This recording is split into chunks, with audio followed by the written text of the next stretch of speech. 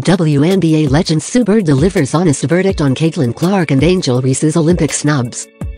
Published, 11.30 Eastern Daylight Time, the 17th of July 2024 Updated, 11.38 Eastern Daylight Time, the 17th of July 2024.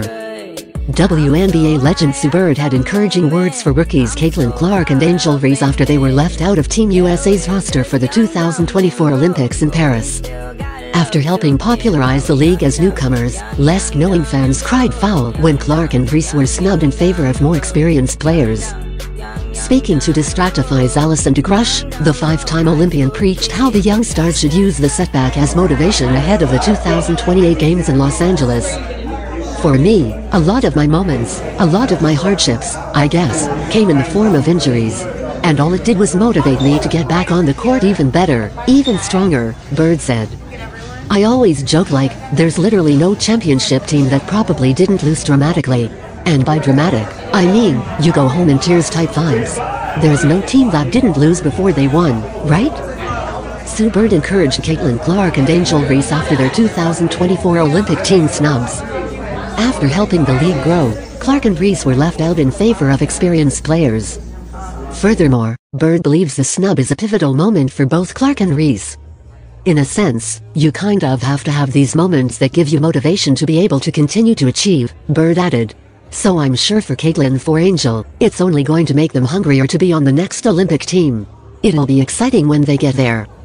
Clark and Reese's story began in college while playing for Iowa and LSU. Their talent and flair brought plenty of eyes to their playoff showdowns in 2023 and 2024. As juniors, Clark lost to Reese and LSU in the NCAA championship game. Meanwhile, earlier this year, Reese and the Tigers fell to the Hawkeyes in the Elite Eight behind a 40-piece from Clark, who would lose in another title game to South Carolina. Clark is averaging 16.8 points, 5.8 rebounds, and 7.8 assists for the Indiana Fever. Reese is averaging a double-double with 13.5 points, 12 rebounds, and 1.8 assists for the Sky. Clark and Reese's rivalry in college made their entry in the WNBA highly anticipated. Reese was selected 7th overall while Clark was the first overall pick in the WNBA draft.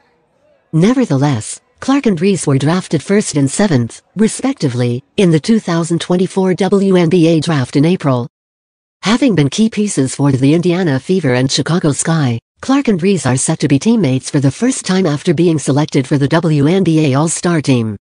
We're gonna be playing together for a while, so this is not gonna be the first time, said on NBA Today on July 10th. I know we'll be all stars again. I know hopefully, 2028 will be Olympians together too.